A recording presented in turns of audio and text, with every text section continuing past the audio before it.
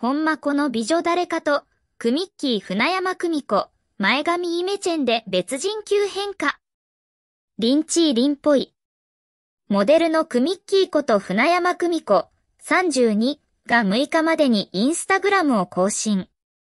ニューエイ前髪で別人級に変化した姿を公開した。この日、舟山は、ニューエイ前髪にしたよ、と綴り、ヘアカット後の写真を投稿。今回は長めのニューエイ前髪で、前髪なしのスタイルとシースルーバングのスタイルをそれぞれ披露している。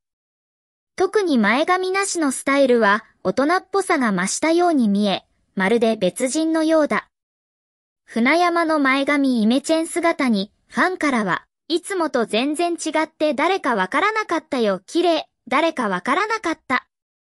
大人っぽい。めちゃくちゃ綺麗で透明感溢れてて色気うふんで素敵すぎます。めっちゃ大人の色気出て素敵です。今までのクミッキーちゃんと印象が変わってドキッとしました。リンチーリンっぽい。ほんまこの美女誰かと思った。クミッキビしすぎて過去一好きなヘアスタイルです。と好意的なコメントが寄せられている。